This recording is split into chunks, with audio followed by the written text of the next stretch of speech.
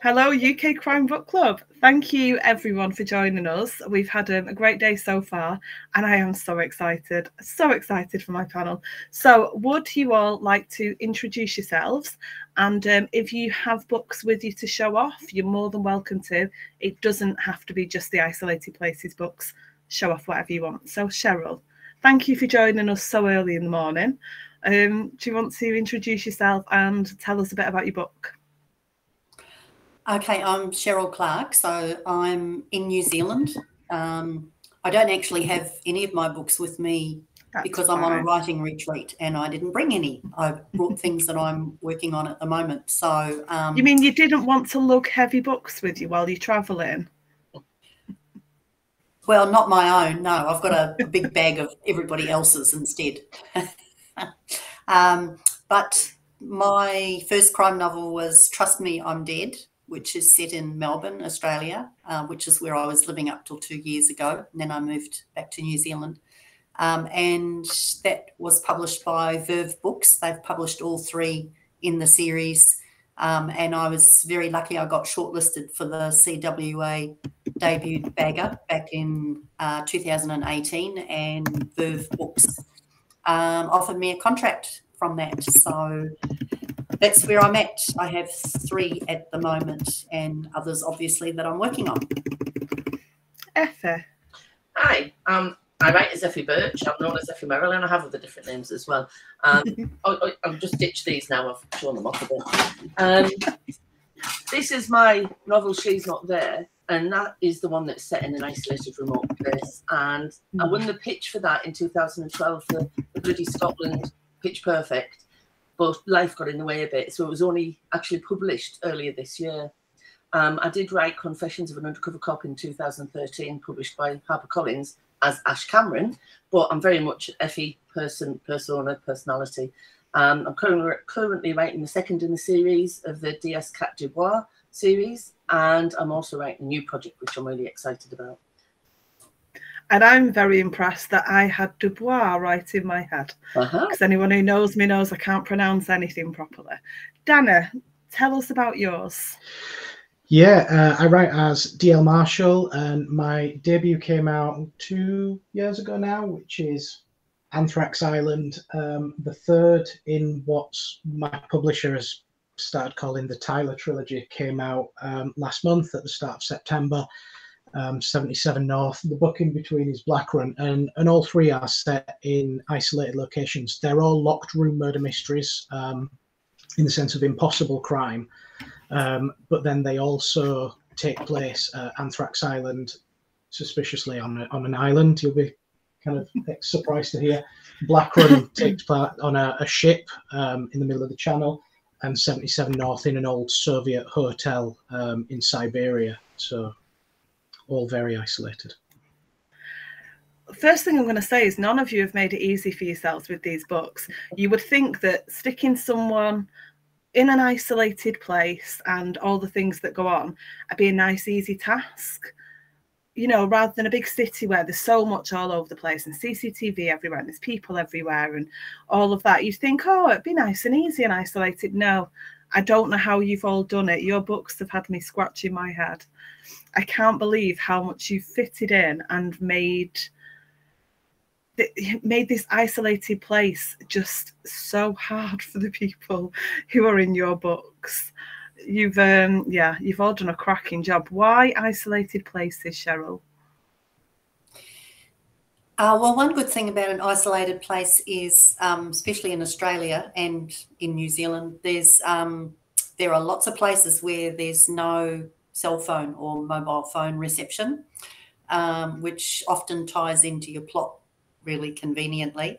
Mm. Um, but also, um, I grew up in a little teeny weeny place um, on a dairy farm, and I know from um, that experience, um, I found out many years later when I was all grown up how many people in that little community had um, quite dark things and dark secrets going on. And so, you know, that's always an inspiration. You know, it doesn't matter whether there's 10 people or 10,000, you're still going to have characters who are hiding things and trying to get away with things. So, uh, yeah.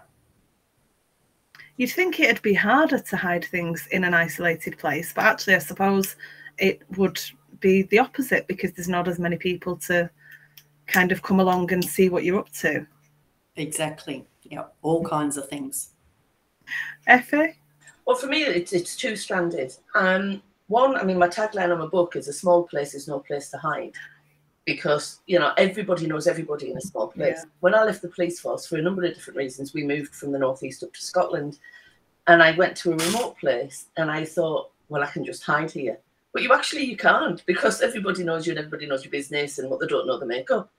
And I used to a lot between Scotland and England on the train, and I love, I just love the, the beautiful countryside, and it, it is so remote. And I used to think about all the dead bodies that were buried out there, and all I wanted to do on these train journeys was just find a dead body somewhere and say, ring the police and say, "There's a dead body on there on the train track," or you know, just past the train track and everything. And I thought, what what would it would be like, and why somebody would bury a body there. So when I started writing this book, I actually lived up in Scotland, and I just thought, well, there's lots of secrets in a small place, like Sherryl said, and all the older people know all the current people's pasts that they probably don't even know themselves. And I thought it would be good to set something there. But you see, mine's a lot coffin mystery because it was a, a coffin. Um, it was a dead body that turns up in a tree in the hillside that had been cremated two years earlier. Well, how does that happen? And how can a body get out of a coffin? Because you can't cremate somebody without the cremator noticing there wasn't a body there. So how does all of that work? And that's I just love the idea of a small place because it's so deliciously rich in atmosphere and tension and countryside and people and weird people. More so being anonymous. Oh, yes. yes.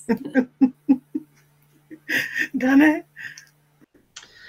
Um, I think there's a couple of different strands to why why remote. I think, firstly, uh, well, my my favourite um, book, my favourite crime book is "And Then There Were None," Agatha Christie, which is like one of the sort of pinnacle um, of that genre, and that um, inhospitable, um, isolated location. You can't escape. There's nowhere to go, and you know there's a killer there.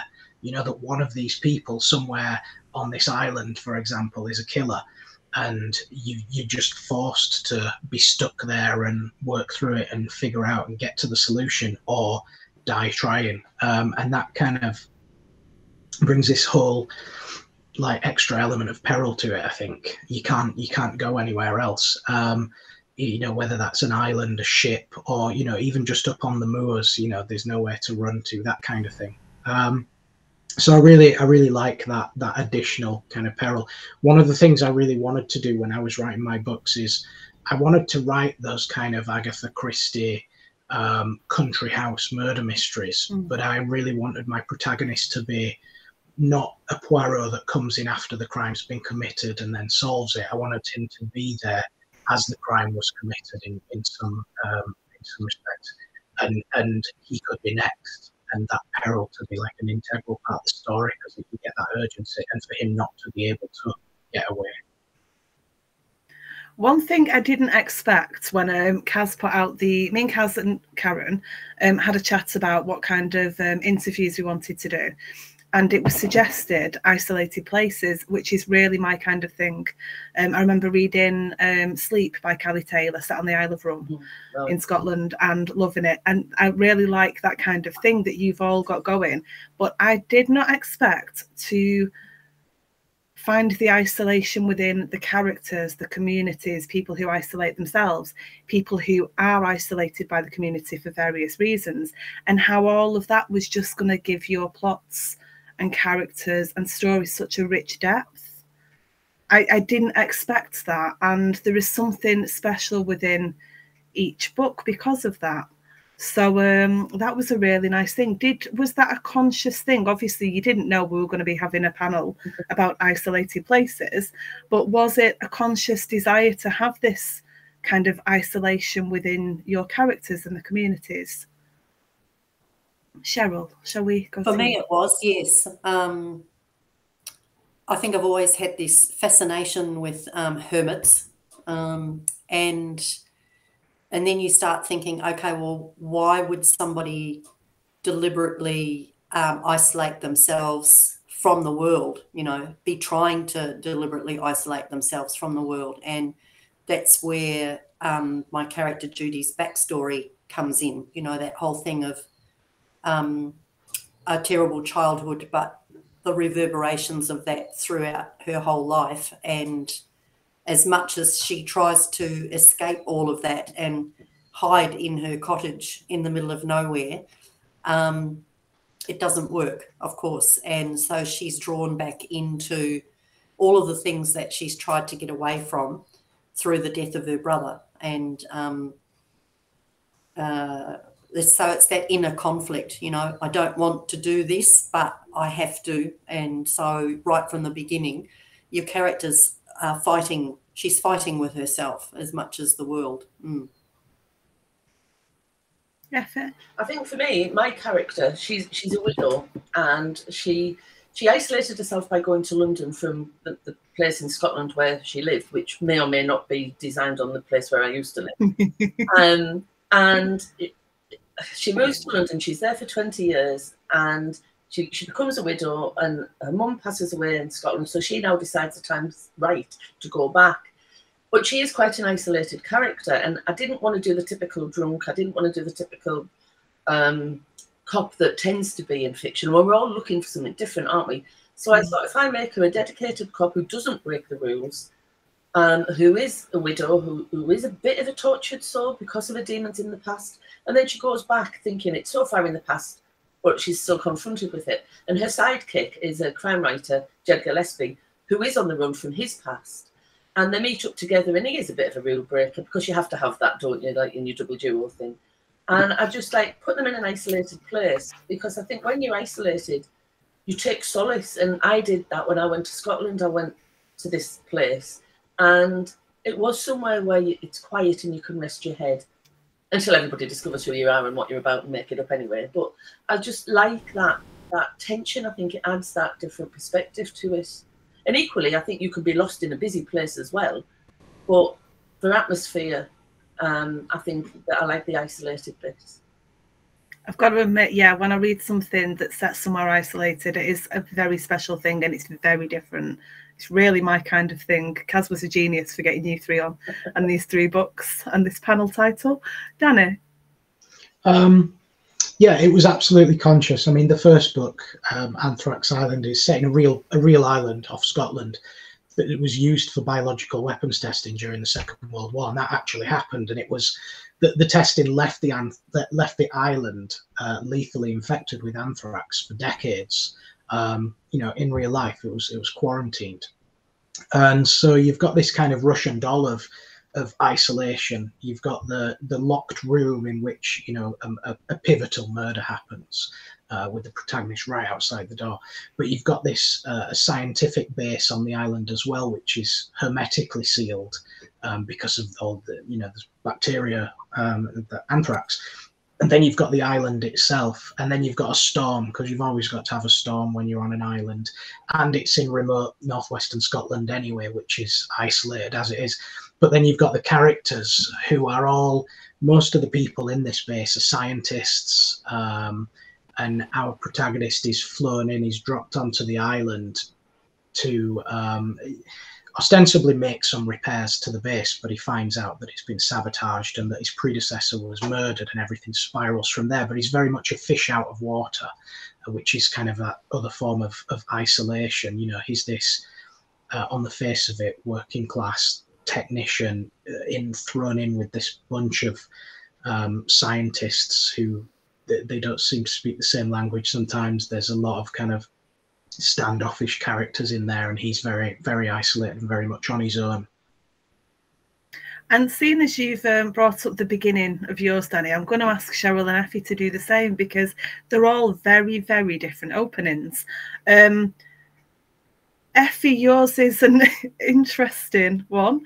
Um, there is, I mean, do you want to explain? So I'm not.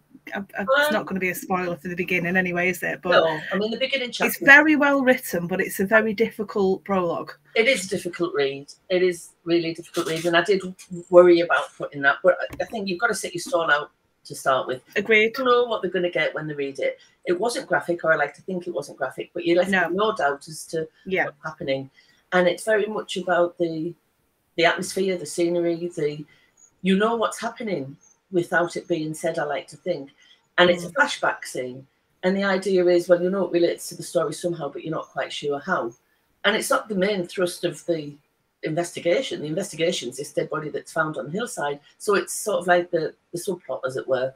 Um, but it does set the scene. It's got the isolation, it's got the remote place, and it's got something quite horrible that, that's been going on, that goes on all of the time. And you see, my background is working with cases like that. So I can draw on that when I'm writing. And it's a very delicate balance not to do it. I know I do write too dark sometimes, and I've written lots of short stories that people can't read because it is too much for them. But I, I have to be authentic, and uh, that's what how I write, really. Do you want to, for anyone who's not read it yet, do you want to give them an idea of just what happens in that prologue? Yes, it's about a young girl who's going through a park, and there's an abuser who meets her on her way home from school, or every time she's gone through the park. And he's older than her, but not too much older than her.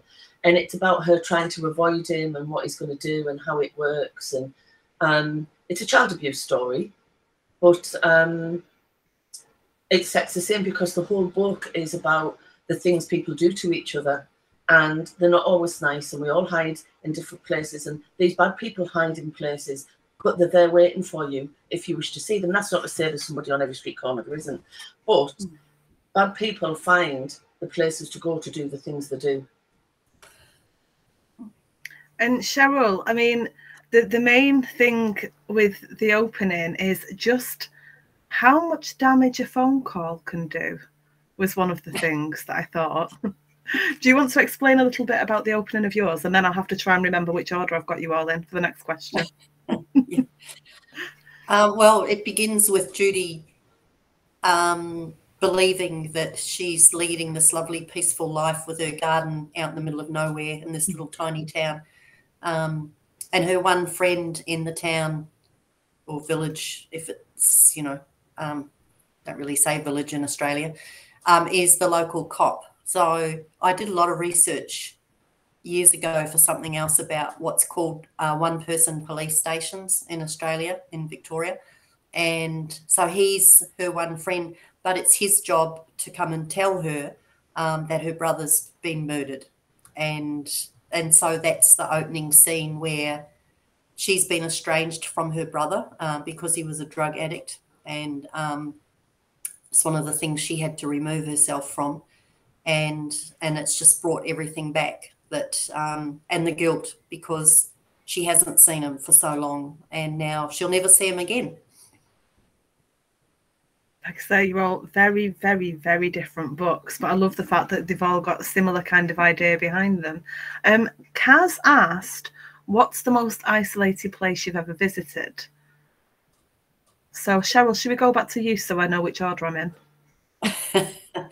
um, there's places in Australia that are extremely isolated simply because Australia is so huge and the outback is also huge. So, probably um, many years ago, I drove from Brisbane across the middle of outback Queensland to a mining town called Mount Isa.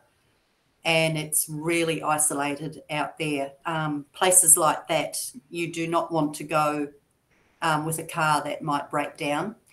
Um, and you especially do not want to go off the road because you'll probably never be found again. Um, and the one thing I remember about that trip was um, a lot of what we call road trains, which are these massive um, semi double B trailers, usually with cattle on them or all sorts of things going backwards and forwards to, to the mining towns. Um, and one of them had hit a huge um, cow. And then I nearly hit the huge cow, which was on the road, bloated and rotting and extremely um, smelly. And I stopped Nice. about six inches from it. So that's what I remember of that trip. That um, that sounds absolutely terrifying. it was really gross. I bet it was. Effie, Well, uh, I think the most isolated I've been was in my own head as a child, I think. Um, but in terms of, and that's why I love fiction because I just used to read and read and read a lot as a kid. Um, but as an adult, um, I think probably oh, I did the Three Peaks um, when I was 17, and I was the only girl out of 11 guys. Obviously, there was a, an older man who was our guide, and they were all teenagers. And it was in the middle of the night, and we didn't know where we were going, and it was foggy, it was raining, and it was dreadful, and we got lost. And actually, thinking about it, I could write a story about that, couldn't I? and that was really scary. That was really mm. um, hard. And I just imagined when we looked the next day when it dawned, when the dawn came and you looked the way we'd come, it was just horrific. Anything could have happened. How the heck any of us survived that, I don't know. But in my book, there won't. I'm going to say if you don't write it, there's um there's a lot of crime writers watching at the moment who are probably scribbling things about cows that they nearly hit and isolated islands and um, let's not go in the bushes on the park.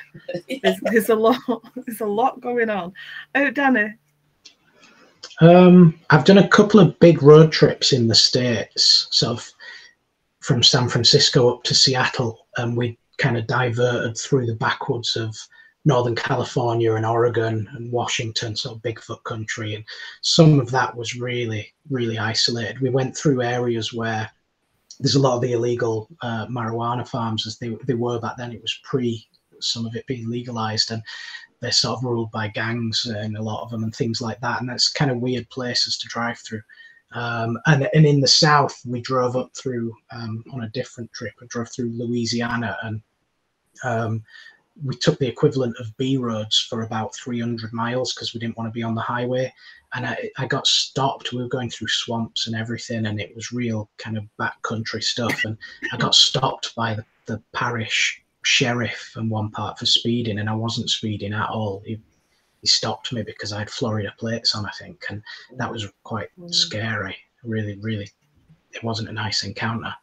Um, so that was that made me rethink doing uh, driving through the backwoods of America.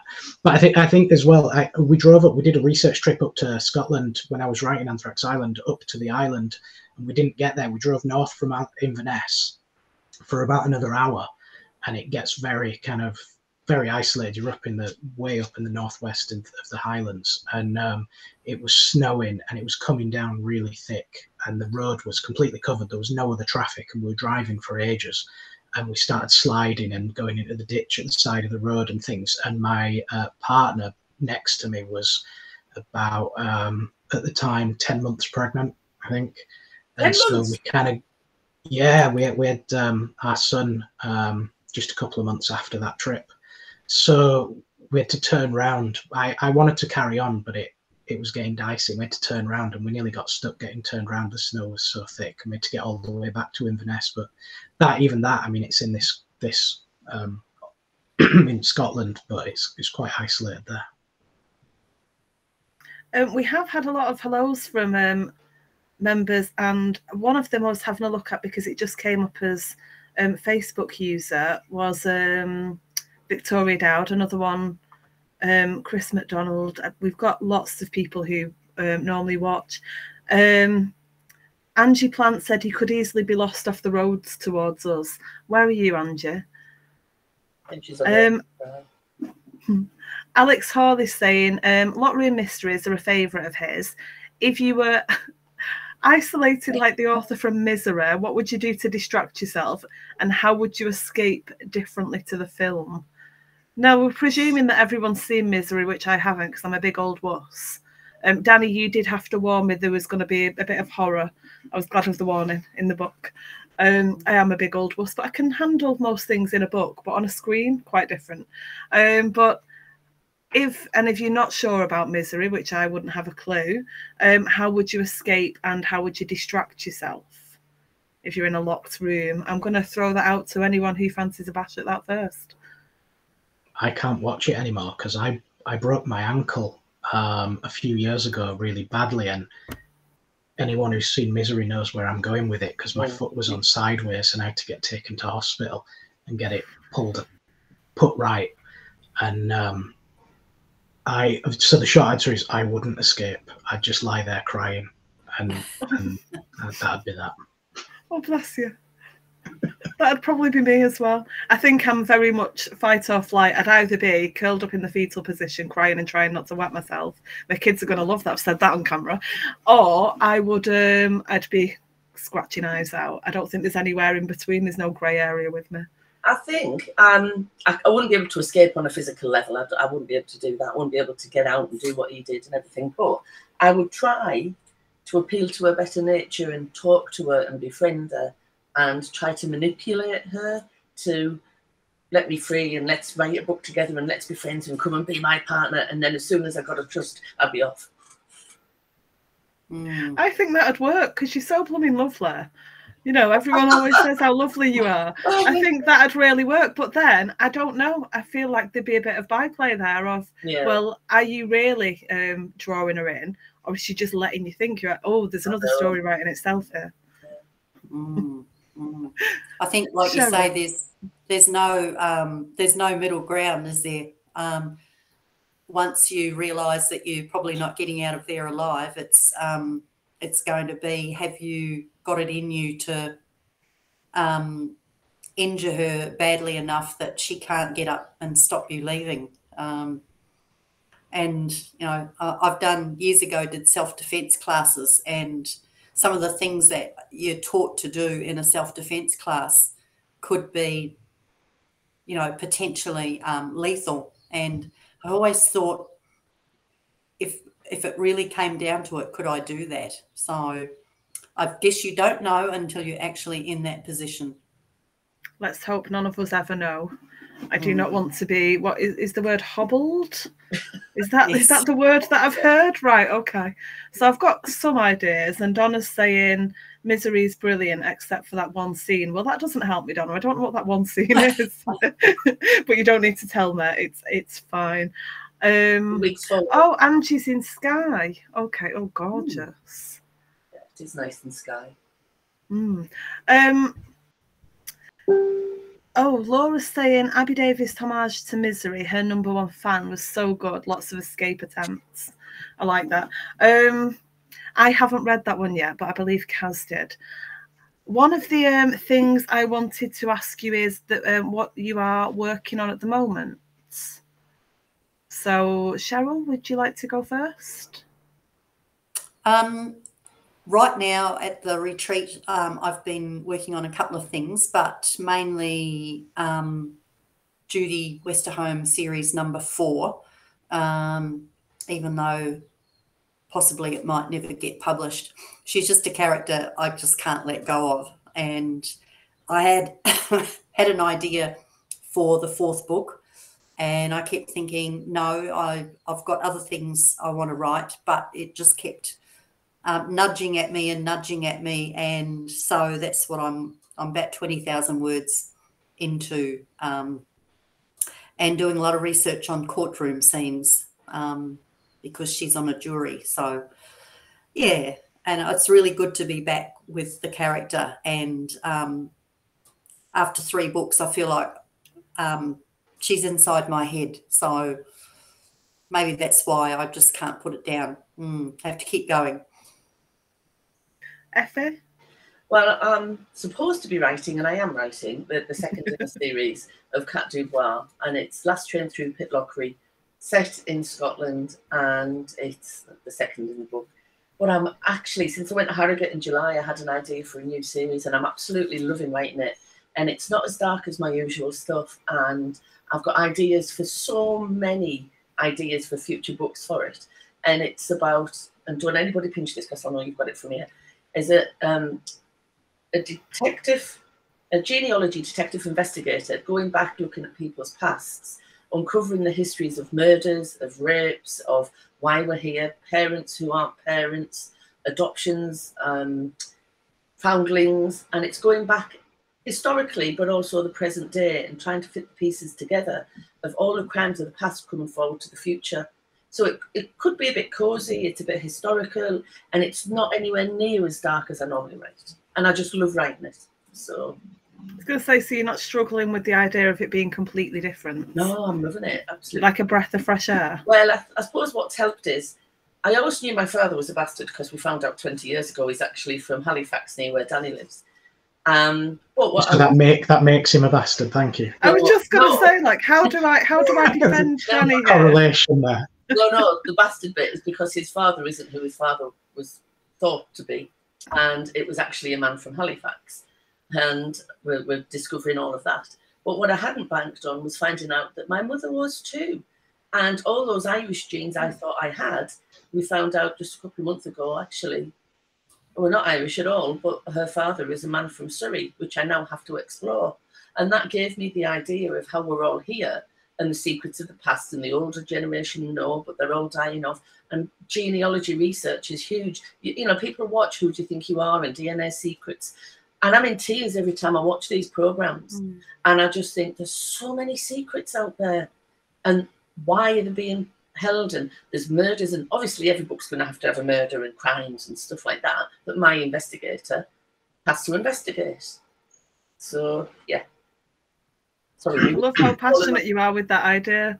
You just you really lit up with the Oh, idea of that. Then I love it. I just love it. And the, the, the audience for these programs is huge, and there's a huge community out there that love DNA research and genealogy research. And who are we? Who are, is anybody who they think they are? Two of my mm-hmm. four grandparents just aren't, and I'm approaching sixty, and I'm just discovering this. So, you know, Danny, I'm writing something uh, a little more fun. Um, the the third book that came out a month ago that was the conclusion of the trilogy. Um, so I'm writing standalone at the moment, about halfway through a. It's a locked room murder mystery, impossible crime again, set um, in a haunted house in the middle of a snowstorm in um, late 1930s on the eve of war uh, in Lancashire, and um, uh, a chap has invited six famous detectives to, um, this seance, but the reason they're really there is to uncover the identity of their arch nemesis. Um, unfortunately, the detectives themselves start uh, dying one by one in increasingly difficult and baffling, impossible locked room scenarios. So another one where you've made it really easy for yourself. Yeah, just on that. Um, because of your answers to the last one, I have to ask: Do you prefer a familiar character or a fresh character, or is there not really any kind of comparison there, Sherryl? Um, I like both. Um, I think I have to be, you know, I could probably just keep on writing about Judi forever, but I don't. I don't think she stays fresh. Then I think it's good to Mm. write other things in between. So um, I've got another character, a homicide detective, and um, talking about isolated places. In the second book, he ends up in Finland trying to find his mother, which is uh, like a big subplot uh, that gets him into trouble in all kinds of ways. And um, I love that character too. So when you start a new novel with a new character, you have to do a huge amount of work to get to know them to the depths that you need to write really effectively about them, or I do anyway. So, um, but I do like inventing new characters and finding out about them. So it's kind of a mix of both. Yeah. Effie? Um, both really. I mean, predominantly because I wrote short stories for lots of years. You can write lots of different characters every day, and I like that. But then I've got to know Cat Dubois, and she's in my head, as is the new character Sally Watson, and I just like them, and I want to spend some time with them. But I couldn't just do one all the time and then move on to the other. I, I, I do like to to write dif- differently, like different, you know, you know what I mean. Hmm. Danny? I've I've written standalones that I haven't done anything with, and they're on a shelf ready to do something with at some point in the future. And then having written this trilogy and nothing really uh, in between, and, and getting to know that character, and now writing another standalone, I'm kind of realizing how comfortable it is to to write a series and have a character who you really you know exactly what they would do in that situation after writing three books about them that you know exactly what they would say and how they would act. And now um, i'm a bit lost again having to discover, and I haven't been in that situation before because when I wrote standalones before, I hadn't written a series, and I kind of appreciate both worlds now. It's really liberating to write a standalone that has completely new characters because you can do whatever you like, and they can hide secrets in a way that a series character maybe can't um, if we've come to to know them. There's pros and cons. I like both. Um, I'm, I'm not sure I've decided yet which is which is my favorite. You all seem really immersed in um, in the writing, and I wonder if it's possible for you to. Do you ever switch off from it? Is effectively what I was going to ask in a really long-winded way. Um, do your characters leave you alone? Do you want them to leave you alone, or is it constantly something going kind of in the back of your mind about you know um, the book that you're working on or the one that you're writing when you're supposed to be writing another one how are you um how do you balance that because I'm, i imagine it must be kind of the brain energy it takes you know it must be mentally exhausting if you don't ever switch off or is it is it invigorating to constantly have something swirling around your head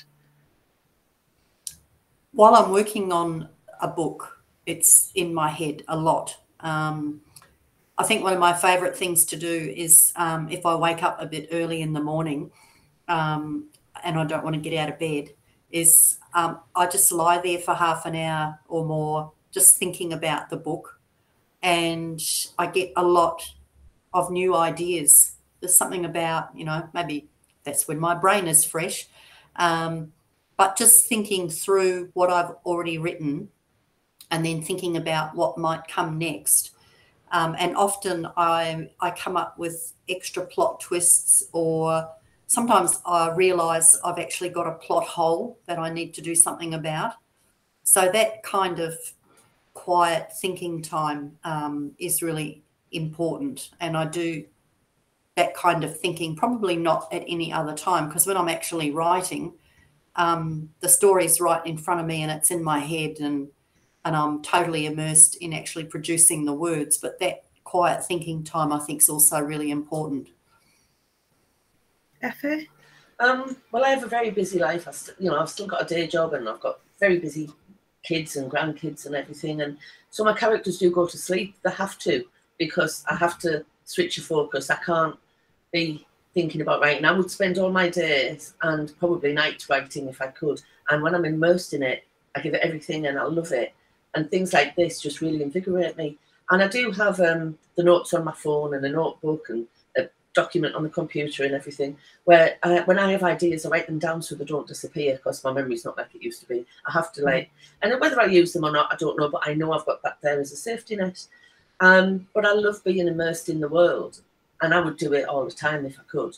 But unfortunately, real life has to take priority on many occasions, so they just I have to put them to sleep but they're always there. It is quite a skill though to be able to compartmentalize like that because it's not an easy thing to do at all to not have everything bleed into each other all of the time. Very, very difficult. It's something that's taken me and a lot of people that I've talked to it about a long time and they're not always successful at it. So give us some tips, Effie. you just manage it, you're well, just used to it. Because um, after I'd won the competition for, for that, I was in a very difficult position where I couldn't write because I had that much on. I had teenagers, I ran a business, and we were caring for my mother in law who had dementia, and there was no space for writing at all. So I had to physically switch it off. And it was hard because it was there, and I, have always wanted to do it, and I've, I've written whenever I could. But when I could pick it up, then I just went with it. But I had to, I didn't have an option. So it was sort of hmm. forced on me, really. So now I'm used to not doing it. I don't want to be in that situation again if I can avoid it. So I just like put them to sleep a bit, like cover them over, tuck them in, and I know that they're waiting. And I, I do that. Quite, it's quite a physical process in my head to do it. I like the idea of that. Tuck them in for the night. Yeah, they can yeah. bugger off and leave you alone for a bit. Yeah. I like that idea. Danny? That's not a skill I've mastered. They're there all the time. It's painful. I um the worst thing is that generally, as I get towards about halfway through a book, it's uh, another book that starts inhabiting the front of my brain and then I want to write that one instead. And that's that's the hardest thing, isn't it? Because mm. you've still got half a book to write, you've still got to be immersed in that one, and the other one starts nagging at you. Um, it's really bizarre how how deeply you do get immersed in that world and then how quickly it's gone once it's on the page and once the book's out there. I I don't think about these at all now because they've been exercised from from my mind, um, and it's all the other unwritten books that are chattering now. Um, all the other ideas. No, I, I, I really struggle. I do focus on the thinking time sometimes. You know, walking and um, with the dog and in the shower and all that time when you when you're alone and there's nobody else talking to you and you can focus on it then I, I do really try and visualize specific scenes and things like that. What about for all of you drawing a line at kind of a boundary of what um how far you can take a scene? Um, I know sometimes people have been maybe asked by an editor dial editor to dial something back, or somebody's you know read something and said actually, you know, I think you could really go in hard on this bit. You could you could really explore that further. Um, how do you balance knowing where to draw the line, Sherryl? Um, I've never been asked to tone things down, um, not even the swearing. Um, so for me, I guess I don't I don't like gratuitous violence, but at the same time, you know, if you've got an action scene or you've got something that's happening that's um, full of action, um, you've got to create that sense of pace and fear. And um, for me, it's all about the internals of the character as much as anything. And I suppose that's where I put myself in it a little bit. You know, like if that was me, how would I act? How would I feel? And I have to say, Judi is a lot braver than me and a lot um, tougher. So, so it's kind of like uh, a, a bit of a fantasy there about, you know, no, that's probably not what I would really do. But um, probably the only thing that the publishers generally ask me to do is just to trim the fat a little bit. You know, sometimes I over explain or um, scenes go on a bit too long. So just to tighten up more than anything. But I haven't ever, I have in children's books, but in in adult crime, I haven't been asked to tone anything down. Effie? well, it's difficult because the subject matter that I write about is very often about child abuse because uh, I worked in child protection for very many years and I dealt with this stuff, the real life mm. stuff. Yeah. And when I first started writing, I was writing short stories, and I did find that when I was sending them out for submission or into competitions, they weren't getting placed or accepted because they were a bit too dark. But there is a market for that. Um, mm. And as long as it's not gratuitous, I would never, well, I hope I would never write gratuitously, but um, I write authentically and with emotions. And I don't tend to write violence scenes. It's more the mind things and the things that people do to each other. You can do a lot of mm. damage in a gentle way more than in a violent way.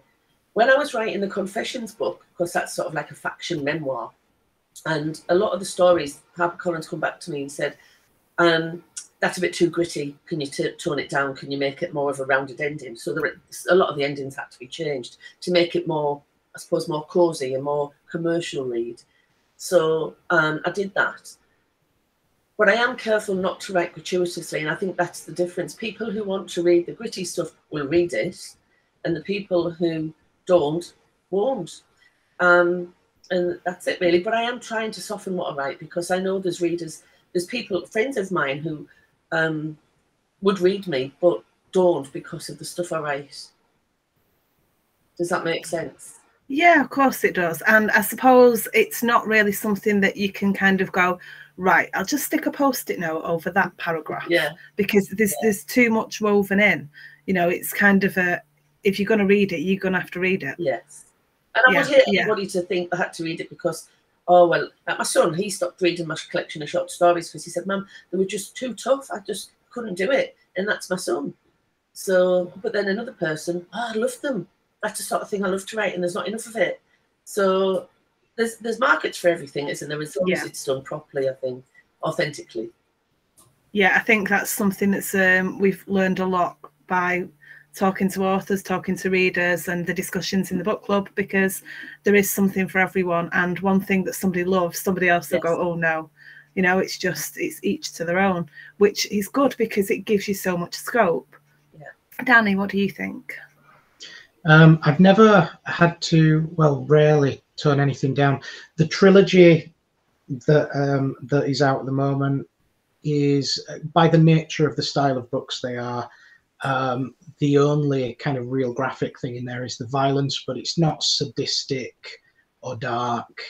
It's more kind of action-oriented violence, which might still be so, so gruesome for some people. There are some quite grisly scenes um, across the three books, but it's not what I would think of as kind of too dark or anything like that. Um, there was one scene in a standalone that I've written that I haven't done anything with just yet that my agent asked me to turn down just a touch that was quite Mm. nasty, but I intentionally made it quite nasty. Um, and I think I just needed to uh, just tweak it slightly. But no, um, nothing else. There is I've I've never written a sexy. There is some in in these books, but um, I just ignore it completely and just go yeah yeah yeah, and then they went to bed. Boom, next scene. Let's move on. right, I couldn't write. We're closing the door on it. Yeah, just there we go. Leave them to it. We'll we'll come back tomorrow. I've been reading something of Liz Mistry's um, recently, and there there are sex scenes, Mm. and they are very very good, very interesting. Um, I always think it's a, a, a strange thing that we're all so fine with violence, and you can hobble someone, but nope, close that bedroom door. That can't happen. Yeah. bizarre. And it's not. I you know I'm not. I'm not a prude. I just. I just. I think the problem is I would struggle to write it in an authentic way without either being too flowery or being too too much the other way and too sort of pornographic. There's a how do you find that balance? And I'm so scared of not being able to find a balance that I'm just never going to write one ever. It's fair enough. I know most crime writers are not touching it. It's just not happening, and that is fair They enough. are really hard to write. Really hard to write well. Mm. I've written It's one of in those things a that new series. I've written one in that, and it just developed into a story. Went and it seemed to fit. Whether it makes the cut or not, I don't know. Um, and I just, it's interesting because I just thought, no, this, this has to be how it is. But whether or not it translates, I don't know.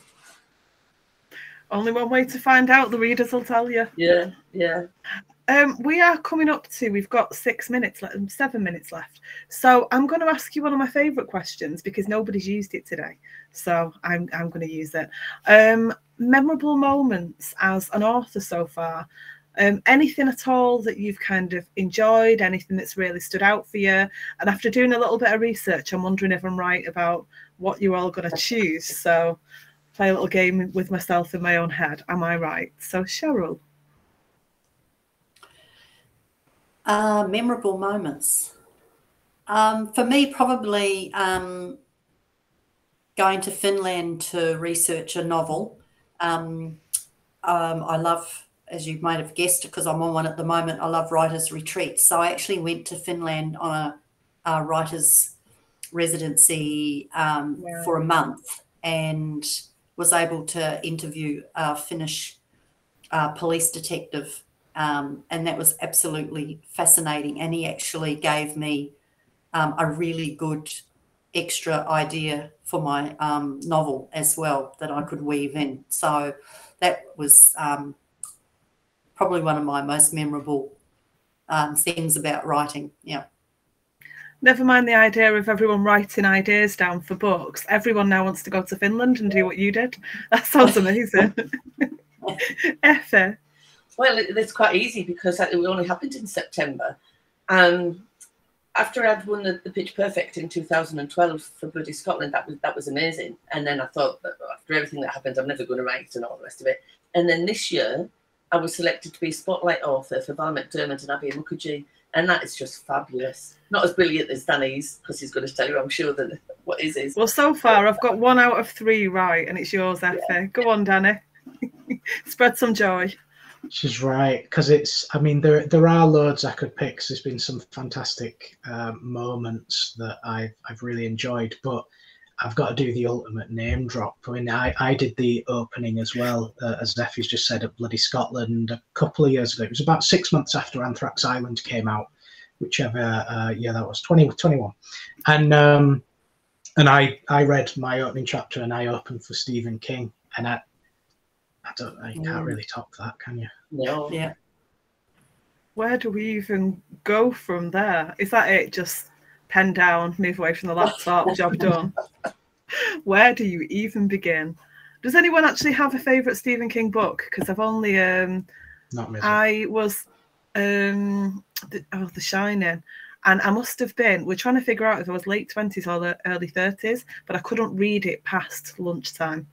Otherwise, I wouldn't sleep that night. Told you, a big old wuss. Doesn't have to be a Stephen King, but any kind of other book that's quite scary anything scared any of you? Seeing as we are at Spookfest.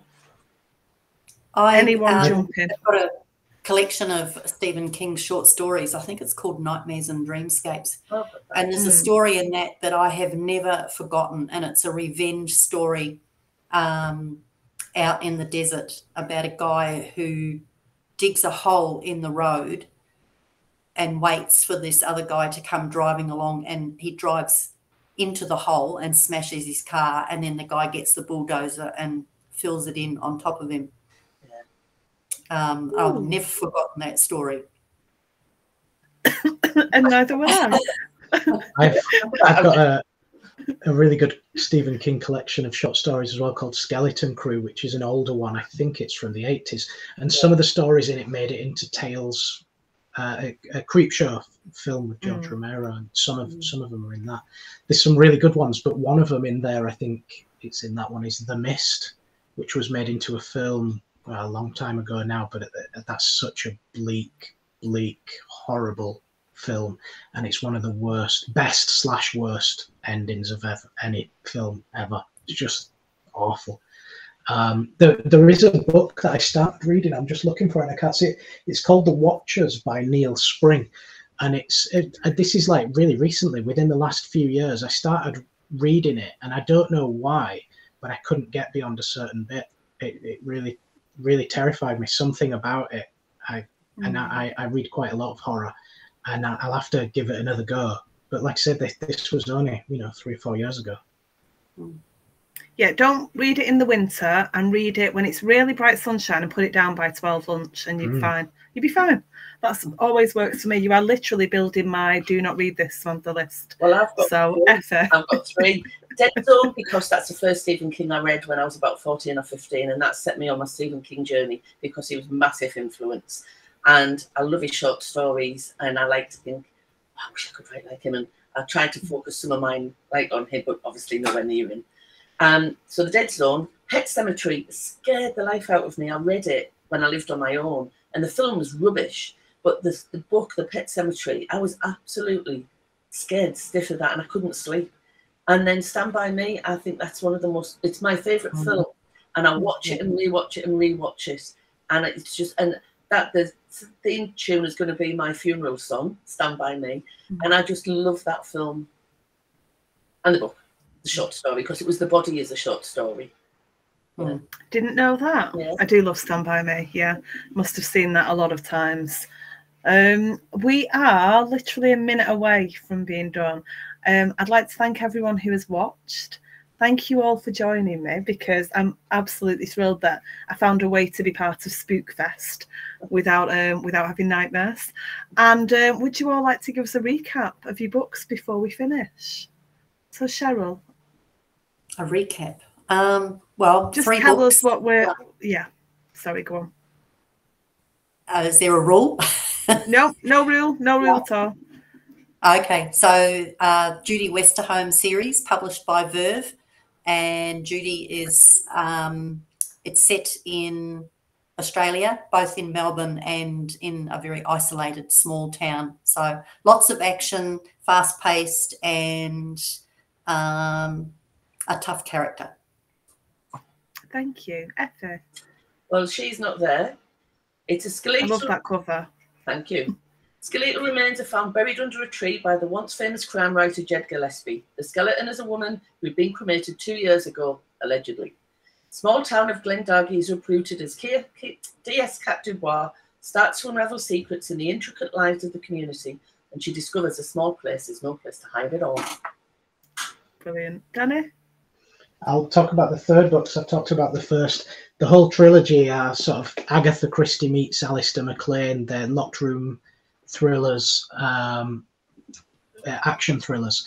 And the third book is um, set in a hotel in Siberia, an old Soviet hotel that was used for uh, paranormal experiments during the 70s before it burned down. And um, we jump from there back to the 90s and John Tyler's first ever job um, because it's got a bearing on what's going on in Siberia now. Thank you all so much. Thank I've thoroughly enjoyed this hour.